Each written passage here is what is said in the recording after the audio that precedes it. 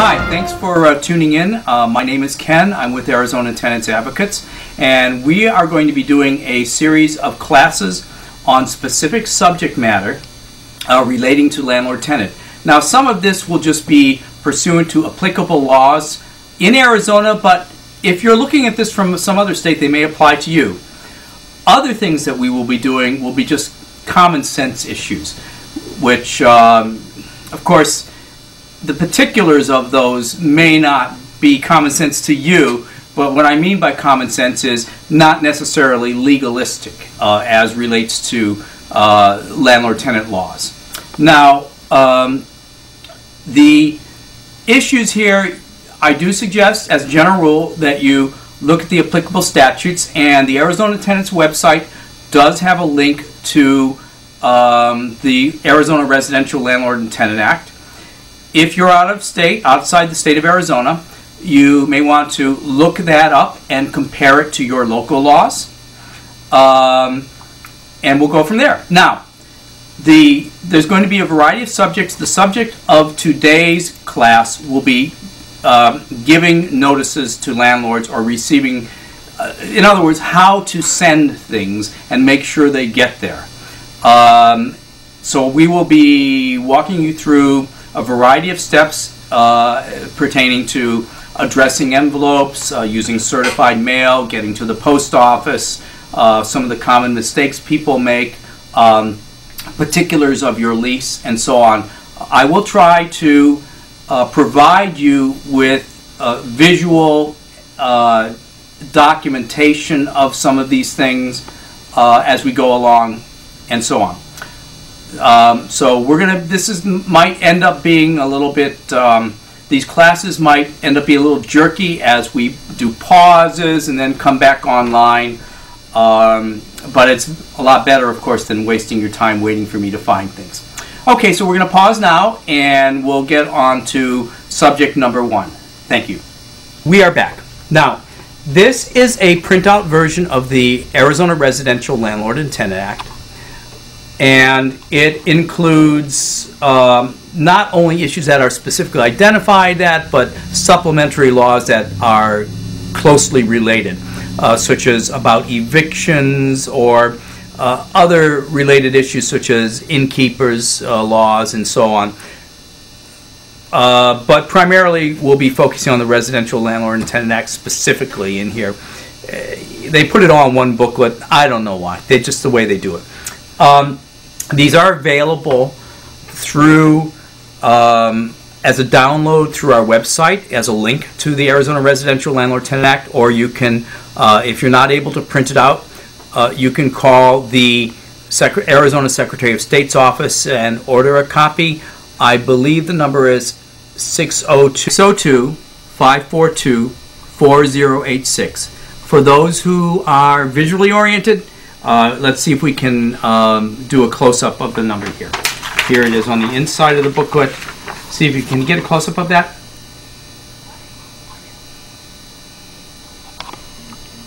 We good. Okay. Now, um, giving notice to a landlord is covered under a variety of methods, many of which are not even mentioned in the Landlord Tenant Act because it was the provision that deals with, specifically deals with notice, uh, was created prior to the uh, uh, creation of the internet revolution, okay? And cell phones and so on.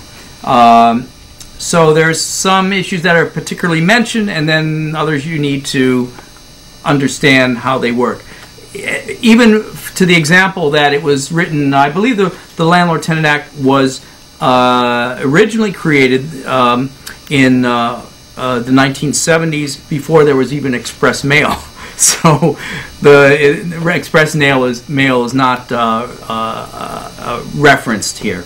Now, the um, statute that applies for notices is the following, and we use the shorthand ARS. ARS stands for Arizona Revised Statutes. Okay, so ARS section 33-1313 subsection B deals with notices. And I'm going to open it up and uh, specifically um, uh, go over some of the elements of that, okay? So, when does a person have notice? And I'm going to read this to you. A person has notice of a fact, and you can kind of read along here if you want. A person has notice of a fact if he has actual notice of it, has received a notice or notification of it, or from all the facts and circumstances known to him at the time in question, he has reason to know it exists. A person knows or has knowledge of a fact if he has actual knowledge of it. Duh. okay.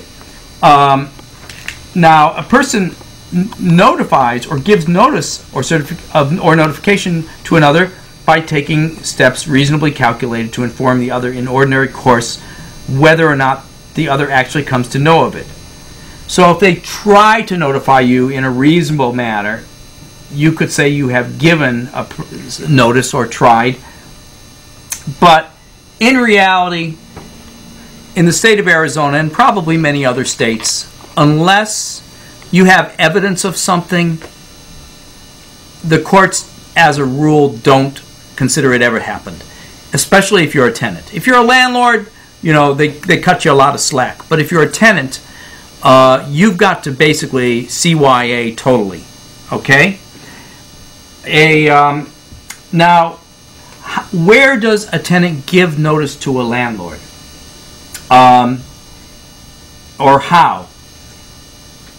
It a person receives when it comes to his attention, or in the case of a landlord particularly, it is delivered in hand or mailed by registered or certified mail to the place of business of the landlord through which the rental agreement was made, or, remember this is or, not um, at any, where, where, where was I?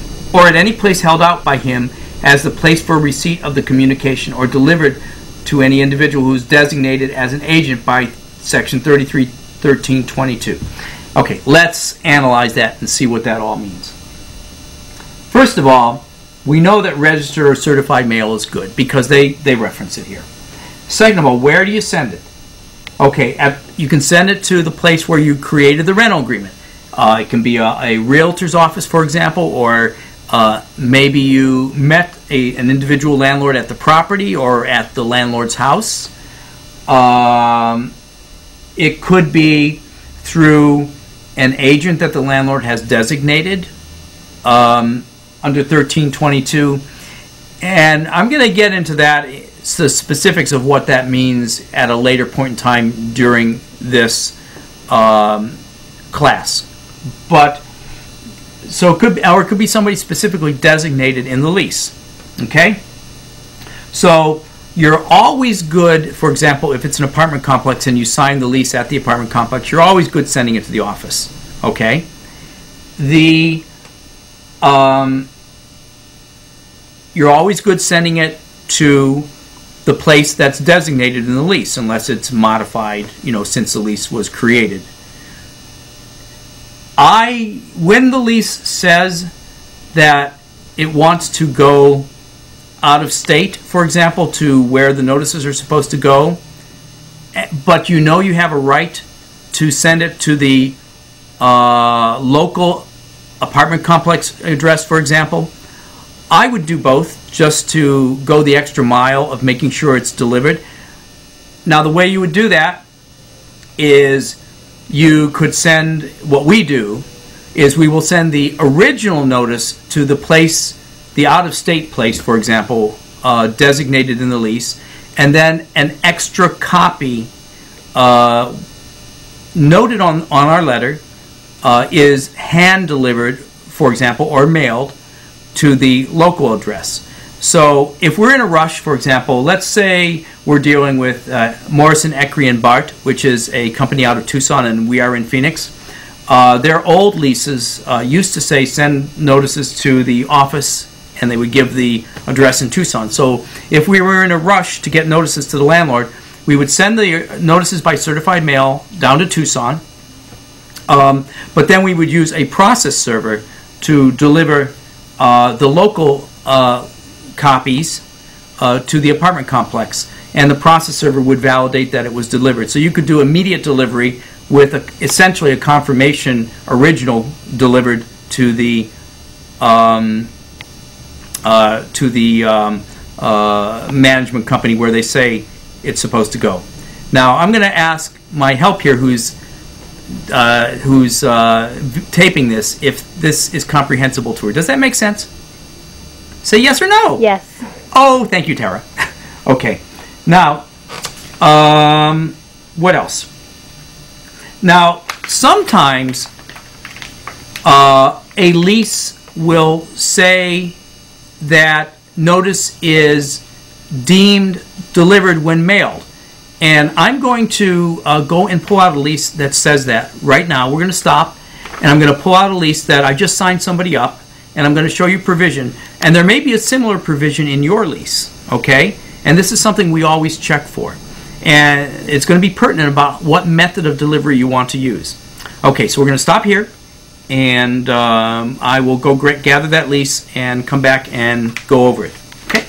Okay, back again. Now, um, I have pulled a lease from Equity Residential, which has a clause that I was mentioning, and it's lease provision number 29. So I'm going to go there right now, and uh, you might be able to zoom in on this while I um, talk to you about it. Okay? Okay, and let's see if we can uh, get that here. Okay. Now, are you getting it? Mm -hmm. Okay, provision number 29 entitled notices, right here. Okay? And they say notices are considered delivered when we send them to you via certified mail addressed to the premises, or then they go on to personally handing it to you or someone else. So you got the considered delivered there. Then they go on to you, all notices from you, and they have the, the uh, converse of this. All notices from you, meaning the tenant, will be considered delivered when you put them in the U.S. mail addressed to the management office and send them via first class or certified mail, or when you personally deliver them, blah, blah, blah. So the issue here is you can send that to them on Friday or Saturday, and they don't get it, they don't actually receive it until Monday. But legally, according to the contractual terms, they got it when you put it in the mail. Now, we never use first class mail because you got no proof that you actually mailed it because there's no really tracking number to put on it and so on. And I will go in later about how to put it on a tracking a number on a letter. But um, the, the, the, the key point is it's deemed delivered under this clause um, when you mail it by certified mail. Now, the landlord has the similar clause in that, and I'm going to tell you why the landlord can't do the same thing, even though the lease says it is. The reason the landlord can't do it is because it's depriving you of your rights to receive the mail five days from when mailed. So we're going to backtrack to that, and I'm going to go to the very next paragraph, and then we're going to come back and I'm going to explain further how that's illegal. Okay?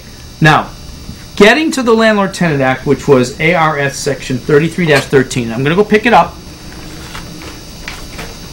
We come to the final section of sentence of ARS 33 13 13, subsection B, which is yellow in here. So I want you to, to um, try and uh, uh, uh, zoom in on that. If a notice, if notice is mailed by registered or certified mail, the tenant or landlord is deemed to have received such notice on the date the notice is actually received by him, or five days after the notice is mailed, whichever occurs first. Okay. So the point being is